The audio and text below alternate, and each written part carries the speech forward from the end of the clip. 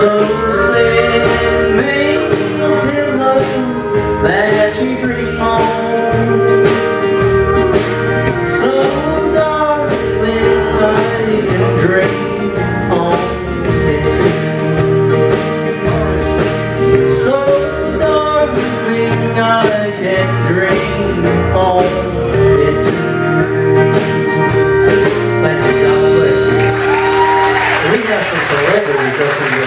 tonight.